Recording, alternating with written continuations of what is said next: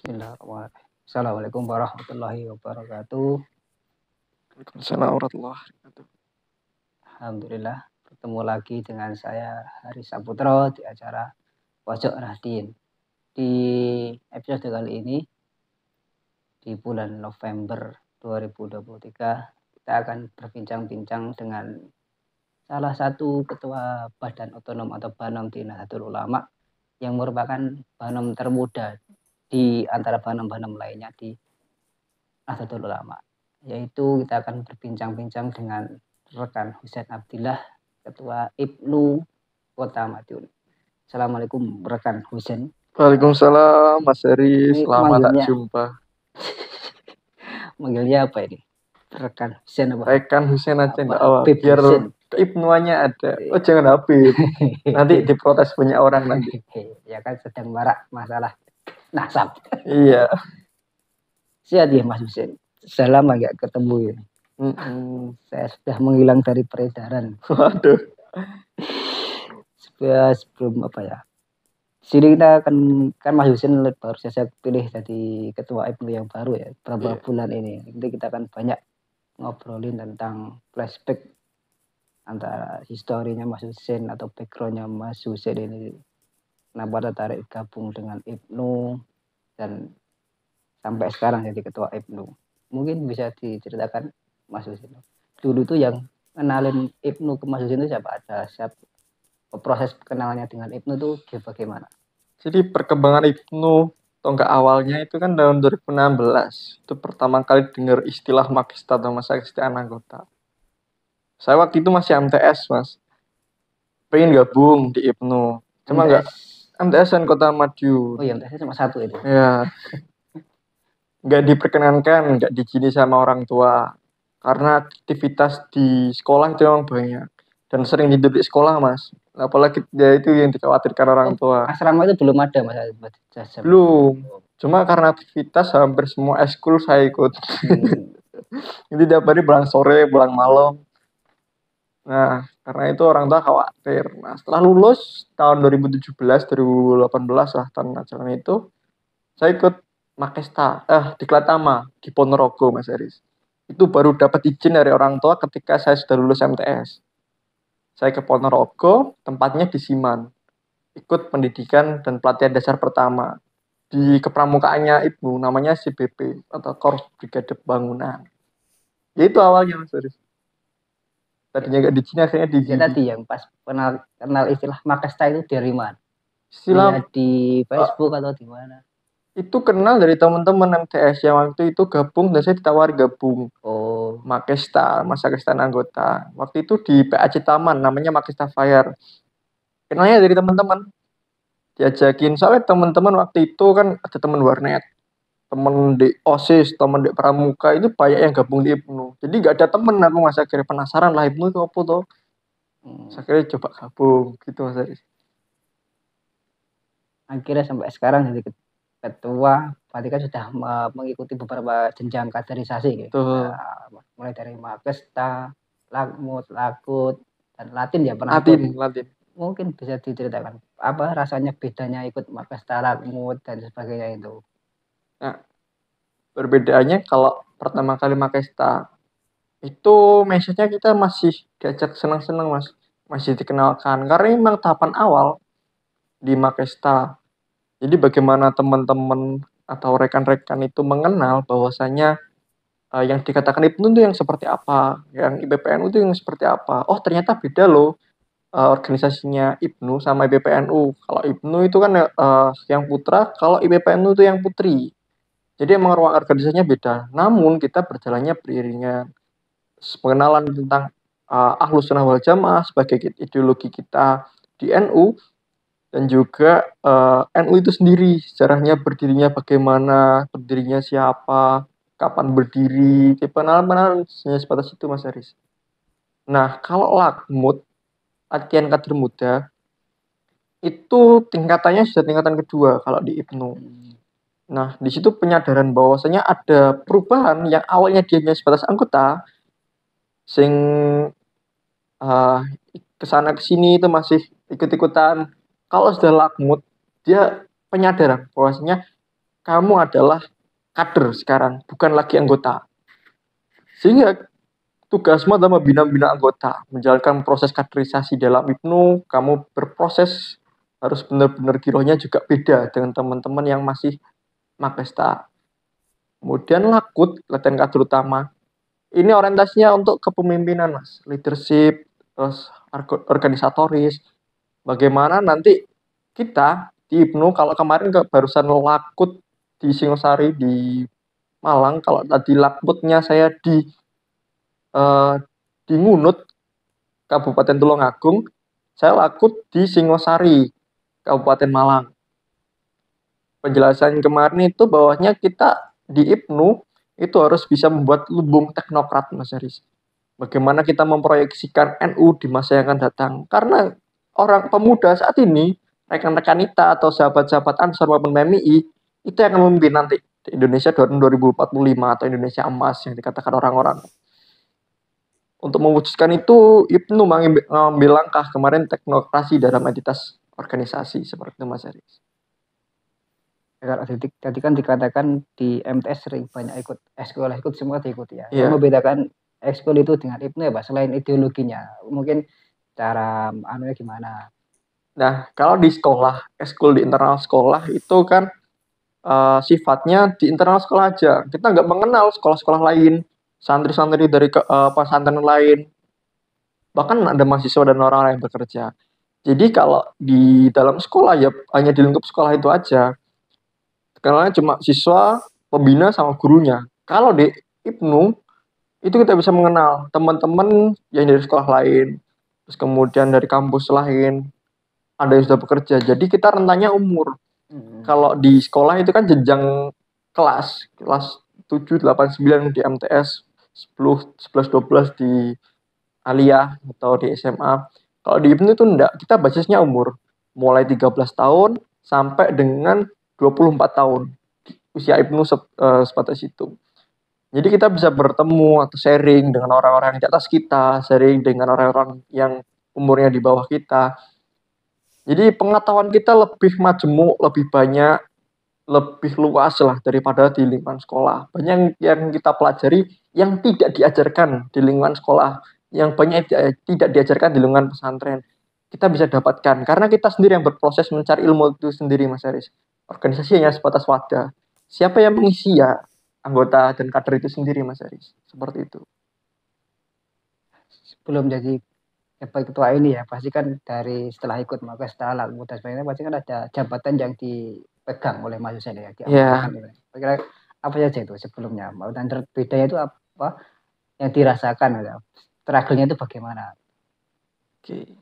Saya dulu masuk IPNU itu menjabat sebagai anggota kaderisasi di Era PCNU eh PCNU mohon maaf. Departemen koordinator Departemen Kaderisasi di PC IPNU masanya Mas Zain. Mas Zain sebelumnya saya anggota di eranya rekan Danu eranya rekan Danu saya anggota uh, di DKC atau di, uh, di CBP-nya terus kemudian saya uh, di periodenya rekan Zen, saya diamanati sebagai koordinator Departemen Kaderisasi. Dan juga saat itu uh, saya masih uh, menjabat sebagai ketua PAC di Kecamatan Taman. Cuma waktu itu kita belum resmi Mas Haris, baru kultural, belum secara ter, uh, struktural tertulis. Kemudian di eranya Mas Nawawi, di rekan Nawawi itu saya diamanati sebagai wakil ketua dua di Departemen Kaderisasi juga. Nah, rencananya sebenarnya di periode saya ini, saya pengen masih di, eh, di periode ini, saya pengennya masih di kaderisasi Mas Aris. Karena tugas saya di Departemen Kaderisasi itu belum tuntas. Nah, kok tiba-tiba diamanati sebagai ketua, kan kaget saya. Nggak expect lah ke, di periode ini, periode depan mungkin lah. Masih punya bayangan. Cuma di periode ini saya pengennya fokus di kaderisasi baik formal, informal maupun non formal. Seperti itu Mas Aris. Iya. Terus sekarang jadi ketua berarti kan akan menyempurnakan yang tadi Guti belum sempurna itu. Betul. Apa yang akan dipendai? Nah, kemarin saya ngerangkai yang namanya buku kaderisasi lokal. Saya beri judul kemarin itu Pranoto Mongso Kaderisasi. Bagaimana kita itu mengkader juga harus tahu waktu. Sehingga tidak bertabrakan dengan jadwal yang ada di sekolah maupun kampus. Mana waktu senggangnya sekolah, mana waktu senggangnya kampus, kita jadi bisa mengolah. E, minggu pengkaderan itu di hari apa sih? bulan pengkaderan ini di bulan apa. Nah, kalau kita nggak memproyeksikan seperti itu, nanti kita akan banyak miss crash tabrakan dengan lingkup, lingkup pendidikan formal. Nah, kalau kita bertabrakan, ya pasti orang-orang mementingkan yang pendidikan formal. Yeah. Karena itu kaitannya sama masa depannya dia. Selain itu juga ijazah kan, pengaruh nilai dan sebagainya, raport. Kalau kita mengorbankan hal itu kan uh, kita kemungkinan ya rugi ya sia-sia juga kong saya juga masih berkuliah juga jadi harus ada waktu uh, banyak uh, ada waktu yang harus dibagi untuk organisasi maupun uh, pendidikan formal jadi untuk mewujudkan PR-PR yang sebelumnya itu kita buat pengkaderan yang sifatnya formal di tingkatan cabang nanti idealnya untuk sementara ini masih lakmut Mas Haris sama Latin yang kemungkinan. Sehingga di, tingkatan PAC itu udah Makesta. Kalau kemarin aja di PW kemarin menyarankan bosnya Makesta di, tingkatan ranting. Tapi ranting kita di Penuh Kota itu belum terbentuk. Yang sudah siap untuk dibentuk baru di tingkatan PAC. Sehingga kita uh, secara akreditasi masih di tingkatan PAC.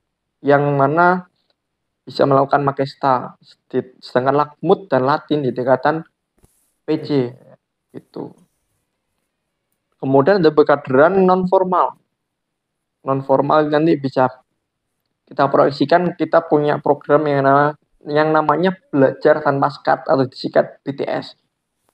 Di mana itu nanti kita uh, momentuman setiap bulan atau setiap dua bulan sekali kita berjalan itu dengan tema-tema tertentu Mas Eris kita misalnya kita di bulan November kan ada hari guru. Atau di bulan November ini juga ada hari pahlawan. Kita bisa ambil salah satu tema itu nanti. Kita fokuskan dari pahlawan. Pahlawan misal dengan tema pahlawan hari ini tuh yang bagaimana nah ada penjabaran-penjabaran kita datangkan nanti ada beberapa yang dari akademisi, pakar, kemudian juga audiensnya kita mengundang pelajar-pelajar bahkan mahasiswa di lingkup Kota Madiun. Juga nanti pemuda kita libatkan di situ. Sebelumnya kita sudah berjalan empat kali, cuma vakum karena pandemi kemarin dan kita akan memulai lagi di periode ini, Mas Aris. Itu salah satu strategi saya untuk uh, menambah lah wawasan teman-teman, menambah pengetahuan teman-teman di IPNU maupun di tingkat pelajar di Kota Madiun. Jadi nggak hanya apa di tingkat pendidikan formal aja, yang pendidikan non formal pun juga harus tetap belajar gitu mas Aris. Ya tadi kan disebutkan nggak nggak expect kalau jadi ketua ya. Di prosesnya gimana kok bisa dibilang nggak expect? Apa emang sebelumnya udah nggak percaya jadi ketua ini atau ada lu? Saya optimis, bosnya jadi bakal jadi pemimpin nanti di masa yang akan datang.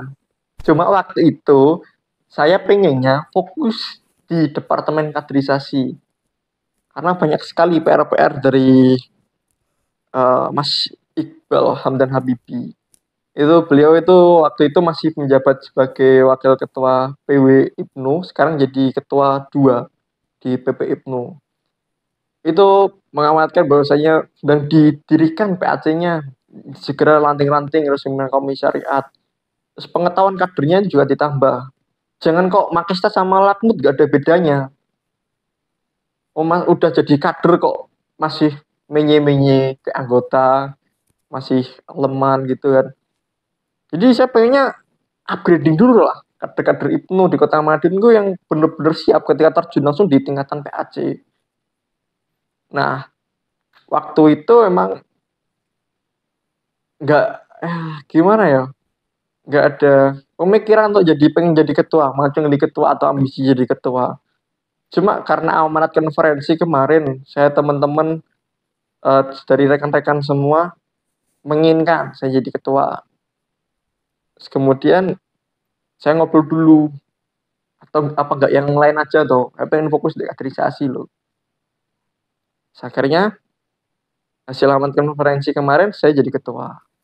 Didampingi dengan Rekanita Zakia yang jadi ketua IBPNU. Itu Mas Aris. Oh, calonnya ada calon lain apa aklamasi? Ada calon lain sebenarnya. Yang saya juga ingin beliaunya itu jadi ketua. Terus karena kemarin itu beliaunya juga menyarankan saya jadi ketua, jadi ya nanti. Awak malu, itu awakmu loh. Wis gak aku mas, sudah pantas mas. Situ ya lelan. Akhirnya kita pasarkan ke teman-teman maunya siapa. Di situ ya ilmu tawaduknya pas jadi ditunjuk di ketua iya betul. waduh di NU itu gini. Gak ada ambisi yo. Kayaknya musyawarah mufakat sih lah beliaunya aja gitu loh tapi ternyata enggak teman-teman ada yang mencalonkan gitu. nanti kan ini wah Mas Husen ini sudah banyak melewati asam garam di dunia keibnuan ada nggak hal yang sempat membuat drop? Wes aku wes capek lah di Ibnu. Itu ada nggak? Pada fase-fase itu dan apa sih yang bikin akhirnya bikin semangat lagi itu apa?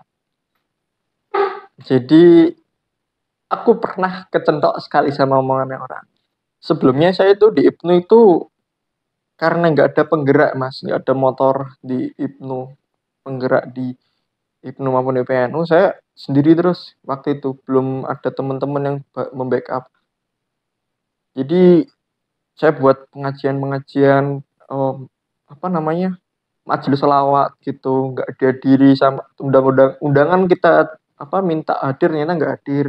Terus pesertanya cuma tujuh orang yang lain uh, pesertanya itu ada 17 yang 10 nabu sama vokalnya yang tujuh cuma audiens.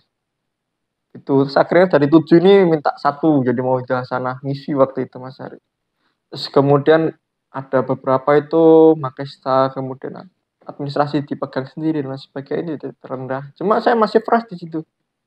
Terus kemudian pengajian kita lewat pengajian itu ngaji kitab Safinatun aja meskipun santrinya cuma saya tetap saya istiqomah Mas Aris nah itu kan saya prepare prepare terus mas dan dan nggak pernah telat telat sekalipun di Ibnu selalu on time bahkan sebelumnya saya sudah hadir dulu.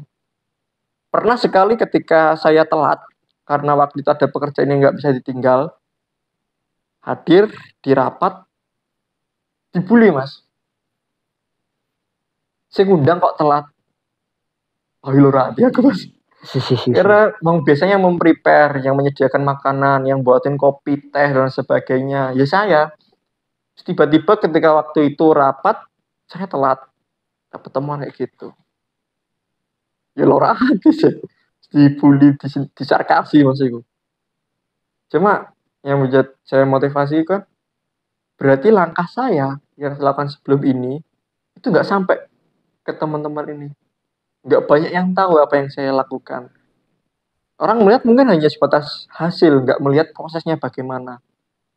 Nah, ini berarti PR saya, Bu. Biar teman-teman itu juga merasakan proses. Biar juga tahu gitu loh, Mas Aris. Aku kesel, awakmu ya kesel, awakmu seneng, aku ya seneng. Kayak gitu loh, Mas Aris. Jadi kita bagaimana rasa empat dan simpati itu ada. Yeah. Ketika itu akhirnya saya termotivasi lagi lah untuk menyadarkan teman-teman nggak mau mutok sing ngoyo. Jangan merasa jadi pahlawan sendiri. Ya benar. Dan ngomong-ngomong pahlawan. Waduh. Ini kan bulan November. Kita syuting ya berapa hari lagi sudah memperingati hari pahlawan nasional. Ya saya bahas pahlawan yang Mas Husen itu lah kan. Kita mulai di Indonesia dulu atau pahlawan nasional. Apakah yang ada di sini? Ya ini beliau ini Cuma saya mengenalnya dulu ya kan itu Bung Tomo Mas Eris. Oh. Aku bonek kok. oh iya, ini kita bahas. Kenapa iya. Mas Isin suka bonek? Itu karena saya itu seneng Persebaya akhirnya yang sering dibuat koreografi sama teman-teman bonek itu Bung Tomo. Saya belajar beliaunya ternyata soalnya ke beliau ini. Iya pas anu ya resolusi jihad. Resolusi jihad diawali dengan pakai takbir diakhiri dengan kata merdeka. Itu cara beliau membakar semangat area Surabaya dalam perlawanan agresi militer Belanda yang kedua waktu itu di Surabaya atau Battle of Surabaya. Ini luar biasa beliaunya itu. Jadi melihat beliaunya yang keras kayak gitu juga bisa takluk loh kepada perempuan yang waktu itu di PMI. Jadi Singapura pun akan kalah kalau ketemu orang yang seperti ini. Itu yang saya proyeksikan yang luar biasa dari Bung Tomo. Satu quote atau anu yang diingat dari seorang Bung Tomo itu apa yang selalu jadi pedoman hiduplah dari buat Mas Hussein. Itu tadi satu semangat pakai takbirnya ketika beliau meneriakkan takbir Allahu Akbar itu kan semangat membakar semangat tadi Terus kemudian diakhiri dengan kata merdeka. Jadi kita benar-benar merdeka atas diri sendiri diri kita sendiri. Merdeka atas bangsa dan negara. Jadi kita bukan sekali merdeka tetap merdeka. Bukan mohon maaf. Bukan merdeka sekali sekali merdeka ya serius oh one stamp. Ya yeah. gitu. Jadi jangka panjang kalau kita ngomongin pahlawan di film ya, sifatnya fiksi. Terus Pak Hasil itu senang nonton film enggak? Maksudnya film kita itu dari Marvel atau Disney, ada nggak pahlawan yang senang ya? Saya sebenarnya kalau superhero dari itu saya nggak terlalu ngikutin ya. Cuma ada satu yang mengenang itu Flash. Itu karena mikir membayangkan dulu ya bagaimana lomba lari terus bagaimana lari cepat gitu mas. Ada seneng beberapa kali itu ikut running lomba maraton. iya. Itu bukan lari dari kenyataan mas Aris nah saya melihat ah, flash itu percepatan. Saya melihatnya dari bagaimana kita mengalami percepatan revolusi industri ya. Kakeknya lah pokoknya. Sekarang sudah mau 5.0 juga. Iya. Dari awalnya itu dari yang pertama ke kedua itu tempo waktunya sangat lama. Dua ketiga itu semakin cepat. Terus kemudian tiga keempat semakin cepat. Empat hampir kelima ya ini. Tempo waktunya kan semakin cepat. Nah seperti itulah kita sebagai agen perubahan. Dan juga agen percepatan juga.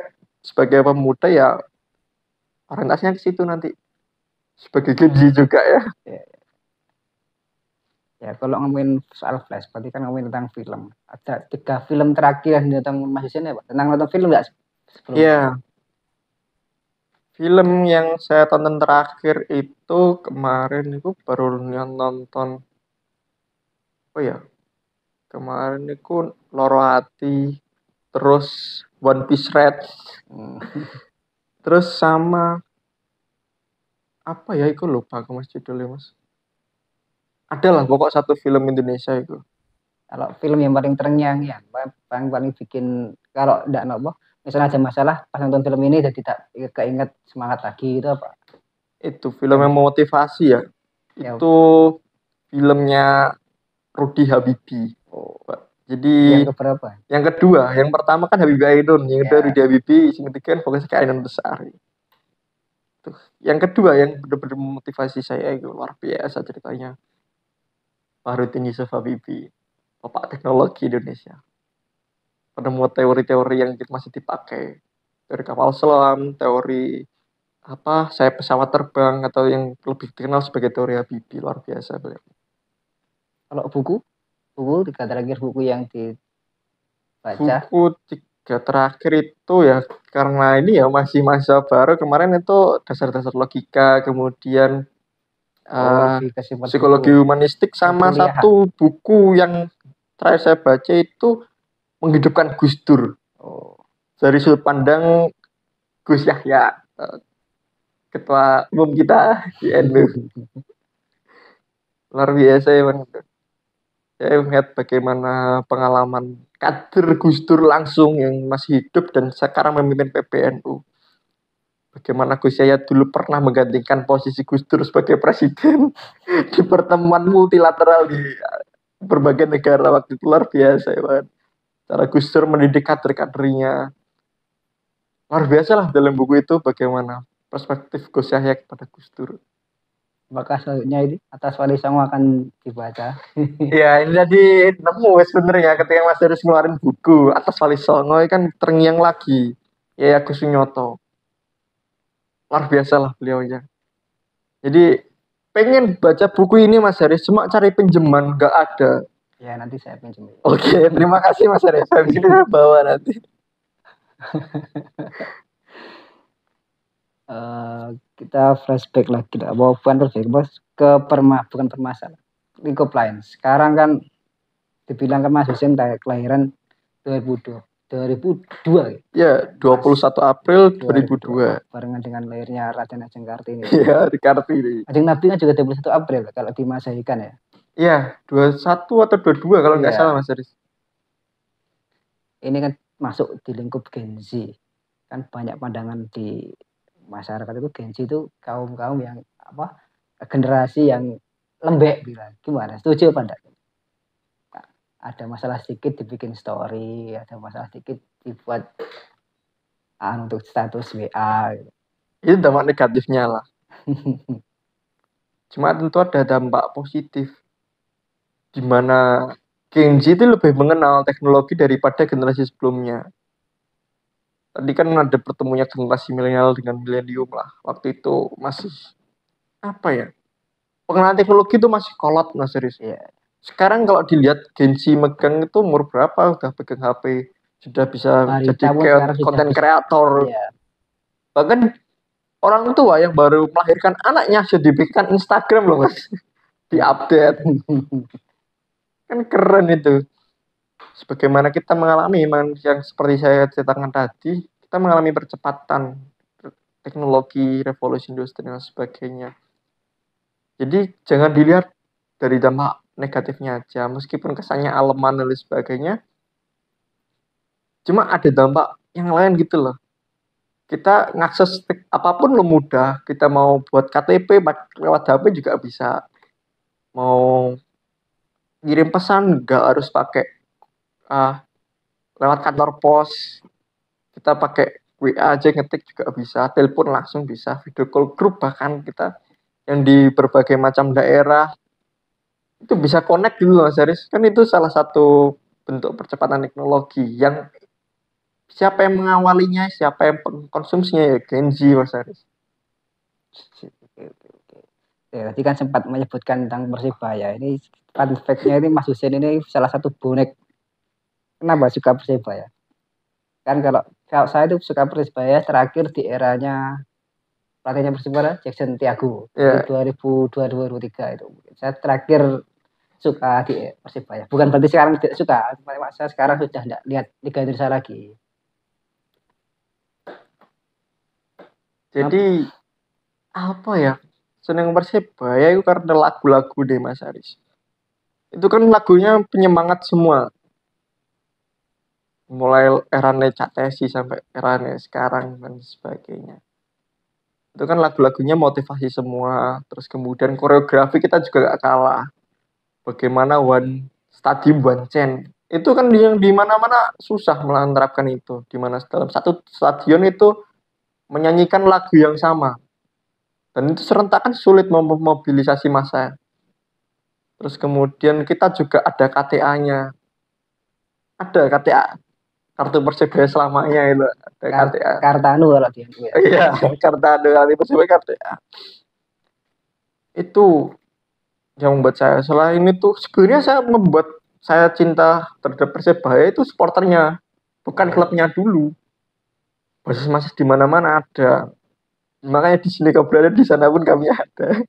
Karena kami bonek mania kan? Di mana-mana ada.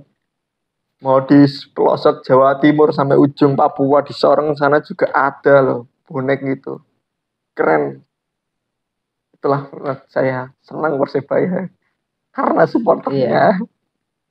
anu pas loganya kalah kami junjung eh kalah kami dukung menang kami sanjung gitu ya ya menang ku dukung kalah ku sanjung oh ya, ya. meskipun sekarang sudah apa agak malam fase betul aduh sudah ganti pelatih asing iya masih banyak lah proses-proses dinamika. Kenapa nggak PSM Madiun? Kenapa nggak PSM Madiun? Karena saya mengenal dulu namanya Persebaya. Oh. Meskipun saya sekarang juga sedikit banyak lah ikut memperjuangkan PSM Madiun itu di lingkup kecil di lingkup saya sendiri. Saya juga tergabung di apa MVB Madiun Vodcode Brigade itu kalau frame-nya saya ikutnya di WSB WS Sedang Boys Jalan Sendang lah masih ada kumpulnya di situ Jamaahnya Pak Toyo. ya di lingkup situ lah itu sering juga kok. Hampir di semua pertandingannya PSM juga juga juga hadir. Teriak-teriak juga di situ.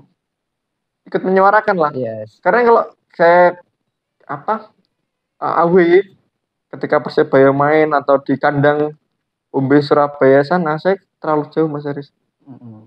itu ya lokal didukung. Yang di liga teratas liga profesional di kasta teratas juga didukung gitu Mas Aris Ada kasnag Liga 1 enggak di PSM. ya kalau kemarin PSM pengennya kan naik ke Liga 2 ya, proyeksinya kan di depan ke seperti itu. Nah nanti jadi pertanyaan ketika gimana nih kalau ada satu apa sini dua-dua klub ini berada di liga yang sama gitu? Kamu dukung yang mana? Dukung Liga Inggris pak. Liverpool ya MU kan si, si. Oh baru tahu kan sekarang Liverpool. Tapi kan di Madiun juga ada Madiun Putra. Kenapa nggak Madiun Putra? ya? sejarah sih Mas saya lebih senang sejarah saya dulu pernah mendukung Madiun Putra karena bukan pernah ya bukan mendukung secara terang-terangan dia cuma gerusa-gerusu pengen stadion karena dulu waktu di pasar penampungan setelah pasar besar kebakaran kan pasar penampungan di stadion Wilis ya itu sering belusak-belusuk keluar masuk stadion gratis nggak bayar mas. Privilege soalnya nah itu ada bolongan kotak kecil di dekat masuk aja di situ di bawah apa gate itu masuk di situ lihat FC main. Cuma nggak ada ketertarikan emang kan waktu itu untuk mendukung MPFC setelah tahun 2018 kalau nggak salah Mas Haris. Waktu di bunker waktu itu teman-teman menyuarakan bagaimana PSM Madiun bisa hidup. Ada sisi, sisi sejarah yang waktu disampaikan oleh Pak Sulistiono dan orang-orang HVM waktu di Historia Van Madiun di bunker. Kemudian saya hadir di situ. Kemudian secara tidak langsung bisa diomong terbrainwash lah atau tergugah jiwanya untuk memperjuang, memperjuangkan klub lokal. Setelah 2019 ya main di Liga Liga 3 saya mendukung penuh di situ. Awalnya independen, rasanya diajak masuk frame, hanya masuk frame. Itu Mas Aris. Balik lagi per ke Persebaya. Lima pemain sing teringat kalau ini buat Persebaya siapa? Saya pokoknya mau bagaimanapun ya, mau di klub mana pun orang itu sekarang, yang jelas satu orang Mas Aris. Andik Firmansyah. Itu yang hidup apa jatuh bangun dukung persebaya meskipun sekarang itu kan nggak sedang bermain di persebaya nggak lima mas dari satu orang itu aja Ah, Andi satu. Firmansyah Kalau saya ya coach yang sekarang Uston Nawawi. ya, ya, ya itu kita mungkin beda era mas dari makanya kita Ya, mengenal saya, terakhir Persebaya ya di eranya beliau, era, era Uston, era Anang Ma'ruf, Mat Halil, ya. Jason Tiago. era masih sponsornya Philips ya. Ya. sekarang kapal api ya dipakai. Balik lagi, ya kalau ke Gensi kan ini Mas Husin kebetulan juga di apa KPU atau KP, anu, di PS PPS iya panitia pemungutan suara di kelurahan. Tingkat oh tingkat kelurahan taman. Taman ya. taman. Ini kan sebentar lagi ini di November ini kan udah mulai masa fase apa kampanye kan ya. iya. Husin juga Gensi ada nggak apa paling nggak suara buat teman-teman itu buat nanti ke 2024 seharusnya Gensi itu gimana? Biar nggak terumbang ambing terframing di media sosial ataupun di media cetak ataupun med- media massa. Oke. Kalau saran saya buat teman-teman Gen Z itu harus melek politik, Mas. Karena yang memerankan Indonesia Emas nanti tahun 2020 2045 itu kan yang lahir sekarang. Pemeran-pemeran penting nanti di era itu. Kalau kita gak mulai politik ya susah. Bukan hanya sebatas politik praktis ya tapi yang kita lakukan sekarang itu adalah yang terpenting politik kebangsaan. Saya mengenal politik kebangsaan dari Gus Dur. Bagaimana beliau memproyeksikan Indonesia ke depan itu melalui politik-politik kebangsaan. Bukan paling praktek politik-politik praktis. Money politik terus kemudian fanatisme buta kan nggak nggak seperti itu. Jadi harus terlibat langsung harus melek langsung uh, melek politik lah begitu. Nah nanti tanggal 14 Februari 2024 nah pemuda itu kan kategori terbanyak mas untuk pemilih nanti nah ini nanti ya wajib memilih menyuarakan karena perubahan itu yang yang bisa kita lakukan ya melalui penyaluran suara. Siapa yang layak memimpin Indonesia nanti tahun 2024 dan masa yang akan datang. Siapa pemimpin kita itu menentukan masa depan.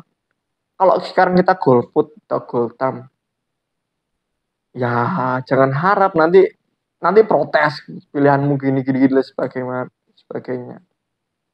Ya intinya kita harus menyuarakan suara kita melalui pemilihan umum itu Mas Haris. Itulah kalau pesan saya sebagai PPS.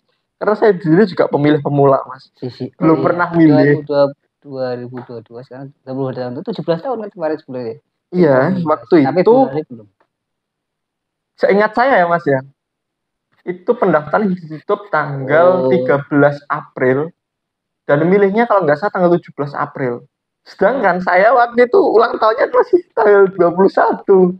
Oh, Jadi nggak iya, sempat iya. milih. Oh iya, iya. Ngomongin soal pilpres tanpa menyebutkan salah satu calon. Ya. So, ideal pemimpin yang wajib kita pilih itu gimana? Kalau saya yang pemimpin itu pemuda. Nggak harus.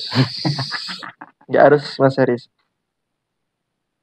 Pemimpin itu bagi saya yang jelas itu waktu di Pramuka itu yang di Maskova dulu itu bahwasanya pemimpin itu Mahatma Salera Bakti Adi Praja. Jadi pemimpin itu harus bisa memimpin dan juga dipimpin. Begitu. Ada waktunya rakyat memimpin pemerintah nanti. Ada waktunya pemerintah memimpin rakyat. Kalau pemerintahnya pemerintah aja, ya itu belum bisa dikatakan memimpin menurut saya seperti itu mas. Idealnya seperti itu. Ya terakhir lah tadi sudah banyak ngalor gitu ngobrolin tentang Ibnu ngobrolin tentang bola dan ngobrolin terakhir ngobrolin tentang pilpres 2020 juga ini.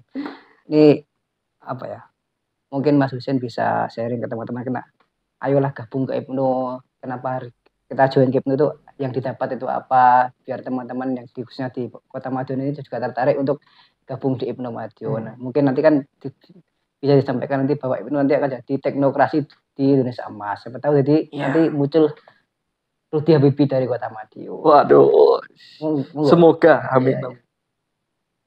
Monggo disampaikan harapan, bukan harapan sih, apa ya kata-kata buat teman-teman ayo gabung ke Ibnu kenapa yang didapat di Ibnu itu ini loh yang Oke oke oke. Jadi saya ingin ngajak teman-teman muslim khususnya yang secara ideologi belum mengerti apa yang dimaksud ideologi-ideologi keislaman lah. Kita kalau di NU itu uh, ideologinya Ahlussunnah wal Jamaah yang mana sifatnya tawasud di situ. Yang non NU kan boleh gabung kan? Iya, moderat kan itu. Moderat. Ya nanti kan udah bayatnya Mas Haris. nanti saya bayat jadi Ibnu nanti. Paling enggak nanti subuhnya bisa pakai kunut ya. Iya. boleh lah. Meskipun kadang lupa kayak kunut juga. Jadi kalau secara umum kan teman-teman juga mungkin selama sih selamatan, solawatan, kemudian manakiban, terus apa nih ya Mas Aris ya? Sing jelas dangdutan gendaan ora lah. Bukan ya kita itu. Out frame, out frame. out frame ya. Iya mana kipan, terus kemudian salawatan, selamatan, terus dan sebagainya lah.